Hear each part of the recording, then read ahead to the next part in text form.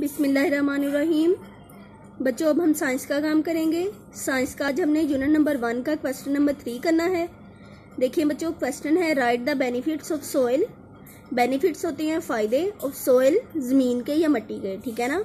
Write the benefits of soil मट्टी के फ़ायदे लिखें, ठीक है? इसका आंसर दो पॉइंट्स बच्चे बन रहा है। आज हमने पहला पॉइंट करना है, ठीक है ना? दूसरा हम कल करेंगे मतलब आज हम आधा क्वेश्चन करेंगे, आधा हम कल करेंगे।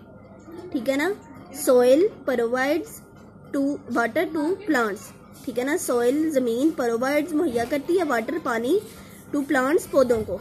ठीक है ना? Soil provides water to plants मट्टी या ज़मीन पौधों को पानी मुहैया करती है। ठीक है ना? क्योंकि पौधे ज़मीन में से पानी जज़ब करते हैं। ठीक है? क्वेश्चन है write the benefits of soil answer है soil provides water to plants ठीक है? ये मैं आपको बताती हूँ। ठीक है बच्चों ये जो मैंने हाईलाइट किया है ना, आप लोगों ने इतना ही करना है, ठीक है ना? बाकी आधा हम कल करेंगे, ठीक है? आज के लिए बच्चों इतना ही, अल्लाह हाफिज़।